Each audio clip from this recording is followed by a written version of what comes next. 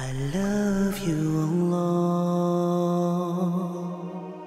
One of the most important secret ingredients that you and I need to be able to ask Allah successfully whatever we want. And we all have things we want. And th- those are secrets between us and Allah. But if you're really going to be able to ask in, in, uh, in a way that you're truly hopeful that Allah Azza wa will respond to what you're asking for, there are some things that have to be in place.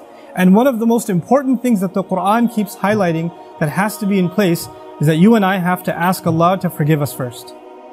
You have to ask Him to forgive us first. Before you ask Him anything else, anything else that you want or I want, we need to be able to genuinely ask Allah to forgive us. And I'm saying today, you know, you might, people ask, which dua can I make for forgiveness? Or which, what are the best words I can say to, for this dua? Or, you know, people have du'as for separate occasions. So when a woman is expecting, she'll email me or she'll come up to me and say, look, I'm going to have a baby. Which dua can I make right now? Or somebody will say, I'm going for a job interview. Which dua can I make right now? Right? it was always this, give me the special dua for the special occasion. Let me tell you, those words are important because they're sacred and they're revealed. But the dua for all occasions is actually seeking Allah's forgiveness. The dua to open up all of your problems, get rid of all of your problems. The one dua that takes care of everything is genuinely seeking Allah's forgiveness. Nuh alayhi salam invites his people, you know, for over nine centuries. He's doing constant da'wah to them. And at the end of that career, he looks back and he summarizes the, the message that he was trying to give them. Of course, he didn't have one speech with them. He didn't talk to them once or twice. Laylan wa nahara, da'awtu qawmi laylan wa nahara. Night and day, he didn't even take nights off. He's constantly inviting them, constantly inviting them. And in a surah dedicated to his name, Surah Nuh, the surah of Nuh alayhi salam, he himself summarizes the entire message he was giving his people this whole time. What is it that I want from you? Every time I was inviting them, I was only inviting them, calling them to this faith, so you could forgive them, Ya Rab.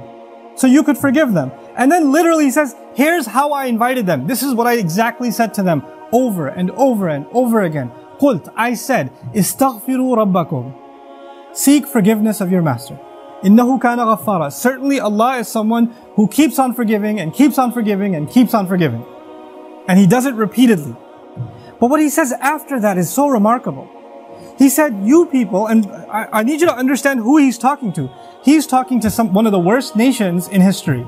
Nuh alayhi salam is described as one of the worst nations of all the nations.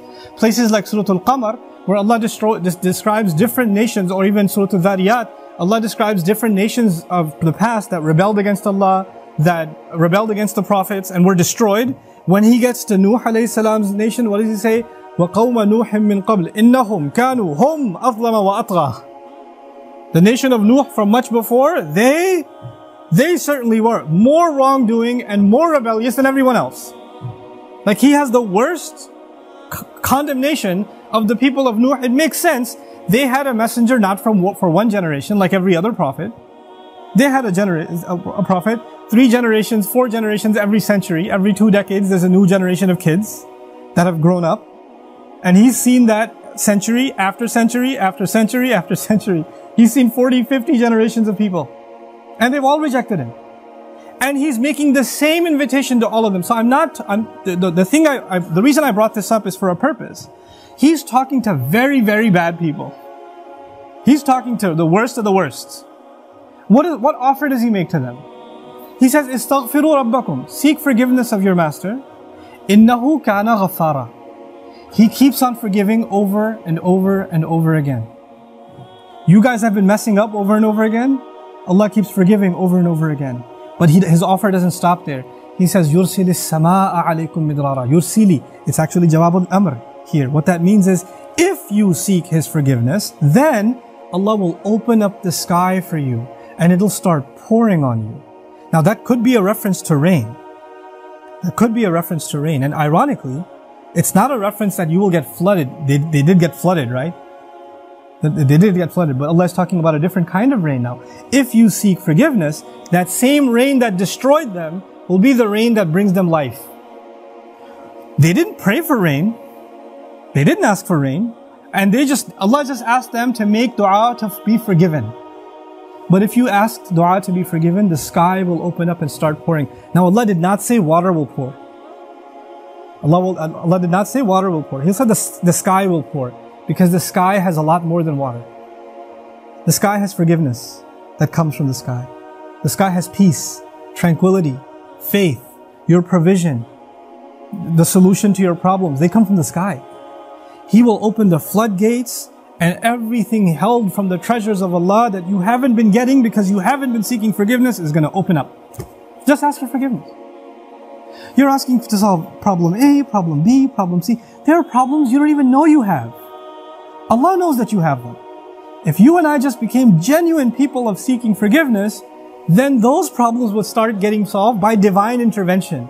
يُرْسِلِ السَّمَاءَ عَلَيْكُمْ مِدْرَارًا And that's not even enough. You're asking forgiveness for who?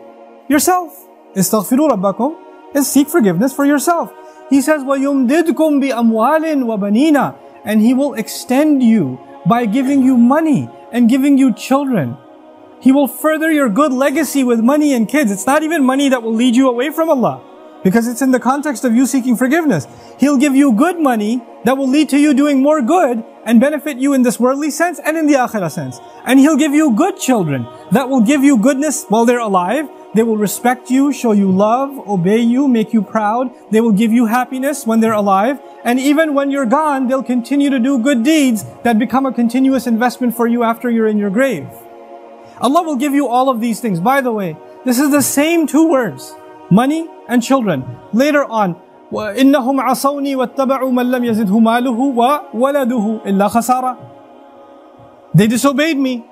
And they only follow the people whose money and his kids do nothing but cause them more loss. Money and kids are a means of loss. But when money and kids come from Allah, after you seek forgiveness, they become gain. See, the, it's the same money and kids. It's the same money and kids. The only difference is now they have the blessing of Allah's forgiveness on top of them. It's like they were contaminated until Allah purified them with His forgiveness. Istaghfiru rabbakum and look, seek Allah's forgiveness. What doesn't open up? The sky opens up in ways you can't imagine.